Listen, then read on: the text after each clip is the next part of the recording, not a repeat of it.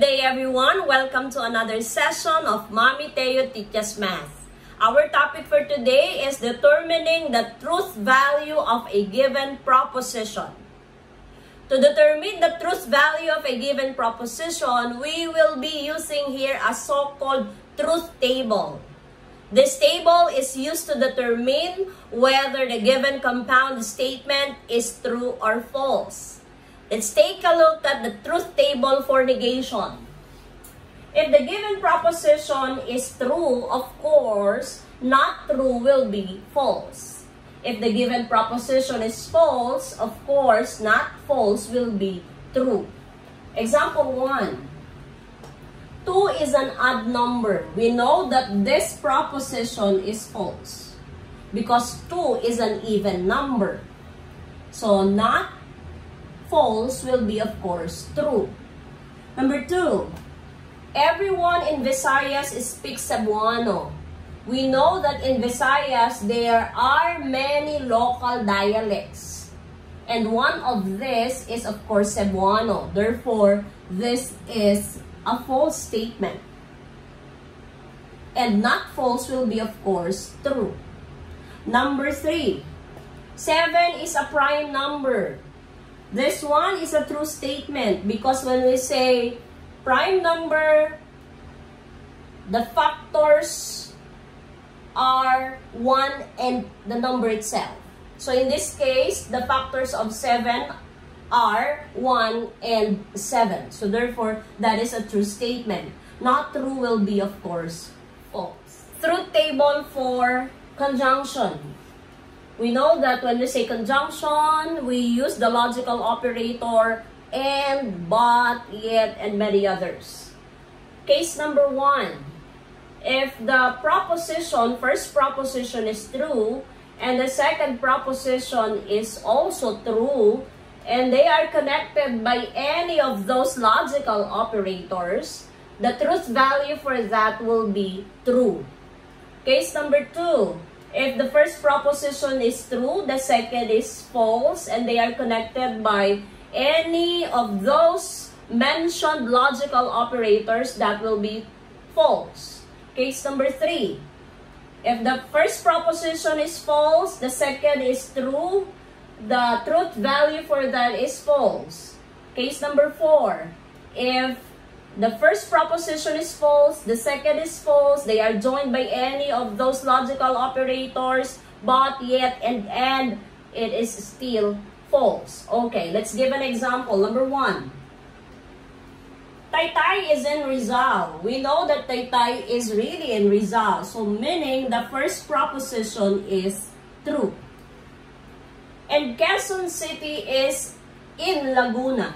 The second proposition is Quezon City is in Laguna. This one is of course false.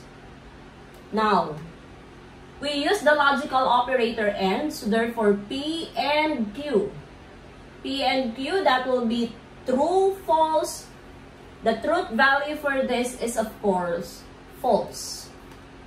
Okay, number two. 2 plus 3 equals 5. And 5 equals 6 minus 1. 2 plus 3 equals 5. This one is a true proposition. And then, 5 equals 6 minus 1. That is also a true proposition. Therefore, true and true, they are connected by and. The truth value is still true. Number 3, pentagon has 4 sides. We know that pentagon has 5 sides. Therefore, that one is a false proposition. Rectangle has three sides. Again, that one is a false proposition because rectangle has four sides. False, false, that will be, of course, the truth value is false. Number four, Obama is the U.S. president. We know that Obama is not the U.S. president anymore. That one is a false statement because Biden is the new U.S. president and Duterte is the president of the Philippines. So that will be true. False true, the truth value for that is of course truth table for disjunction. Disjunction uses the logical operator OR and this one is the symbol. Case number one. If the first proposition is true, the second proposition is also true, and they are joined by the disjunction or the truth value of that is true. Case number two, first proposition true, second false, the truth value of that is true. Case three, first proposition false, second proposition true, that truth value of that compound statement is true. Case number four, first proposition false, second proposition false, the truth value of that compound statement is false. Okay. So, example number one. Taytay is in Rizal. That is true. And then, Cainta is in Quezon City. We know that Cainta is not in Quezon City. It is in Rizal. So, that will be false. So, P or Q, that will be true. Based on the truth table. Number two, x plus x is equal to 2x. That's correct. And then, 2x minus x is x. That is also correct. So, true and true, true or true, rather, true or true, that will be true.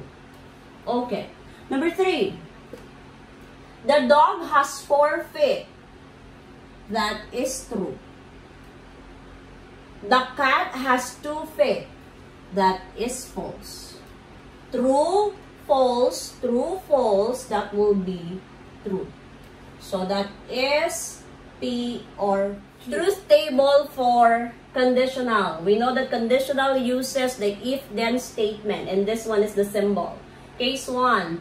If the first proposition is true, the second is true, the truth value for that is also true.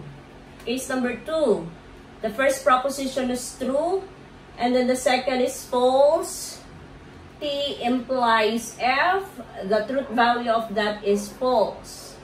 Case number three, the first proposition is false, the second is true, the truth value of that is true. And then case number four, if the first proposition is false, the second is false, the truth value of that is true. Number one, example. If GB is in grade 11, then she is a senior high school. Remember that the first proposition there is GB is in grade 11. So that one is true. She is a senior high school. That is, of course, true because if you are in grade 11, you will be in senior high school. So that is P implies Q. So true, true. The truth value is, of course, true. Number two, if GB is in grade 11, then she is a working lawyer. We know that a grade 11 student cannot work as a lawyer. So this one is true. The second statement is false and then T or F, that will be, T implies F rather, that will be F. Okay? So number three, if x plus x equals x squared, that one is a false proposition. Why? x plus x is 2x. Then, x times x is 2x. That is also a false proposition. So, therefore, F implies F, that will be a true statement. Okay? Truth table for biconditional. If the first statement is true, the second statement is true, and they are connected by if and only if the truth value of that compound statement is true. Case number two, if the first proposition is true, the second is false, the truth value of that compound statement is false. Third case, first proposition is false, second is true. The truth value of that compound statement is false. First proposition is false, second proposition is false. They are connected by if and only if the truth value of that compound statement is true. Given. Proposition P, Neil is a big eater. Q, Len has a big voice. R, Emily likes to travel. And M, that M, Camille likes Violet. Okay, example one. Camille likes Violet. If and only if Neil is a big eater. Camille likes Violet, we have M. And that is true. And then Neil is a big eater, that is P. That is also true. They are connected by if and only if. M, if and only if P. So we have the first case, that will be true.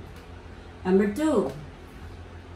Len has a big voice, so that one is Q, and that is true. Camille does not like violet, so Camille M does not like violet, that will be false. Okay, does not like.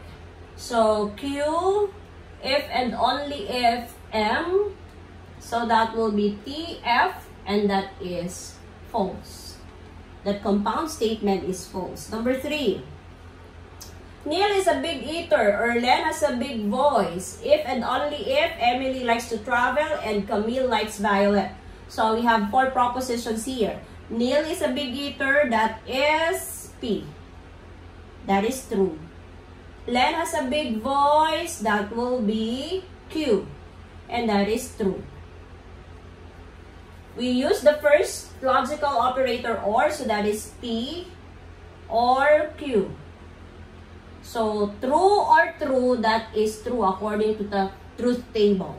And then, if and only if Emily likes to travel. Emily likes to travel, R. And that is true. And then, Camille likes Violet, that is M, that is also true. We use the connector AND, so we have R and M. True, true, and true, that will be true. According again to the truth table. For, of course, the end. Now, let us connect the two. We have this one and this one, if and only if. So, we have P, I will be writing it here. P or Q if and only if we have R and M. Okay. So we have T if and only if T, T if and only if T, that will be true. That's it.